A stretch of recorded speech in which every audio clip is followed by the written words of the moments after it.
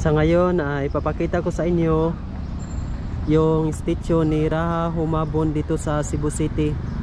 So bago ang lahat, nandito ako ngayon sa loob. So ipapakita ko sa inyo yung labas. Ito yung makikita ninyo. Yan. So yan po yung ah, Raha Humabon. Sa po itong ah,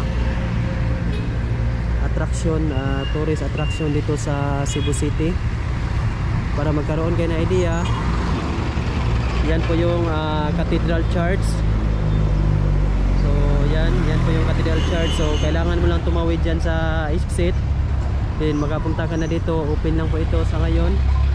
Ayan, kaya nakapasok ako. So ayan, ipapakita ko sa inyo. Sobrang init kaya wala pa masyadong tao ngayon. Ayan.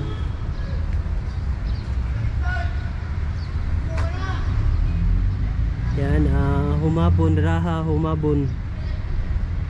Yan. So, yan po yung ah, mukha niya.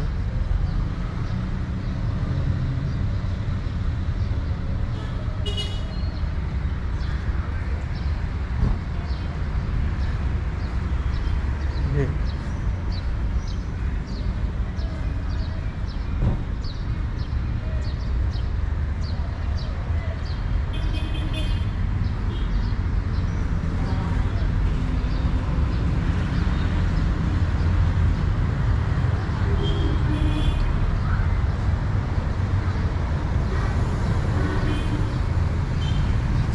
Yan, sila umabon.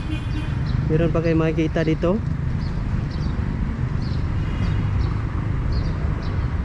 Sobrang init.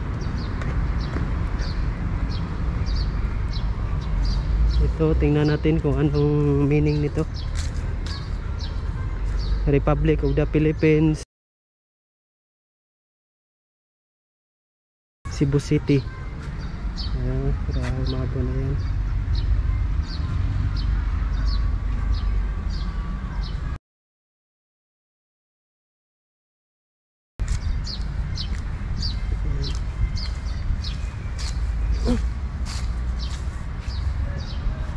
Yan po yung ah, statue ni Raha Humabon.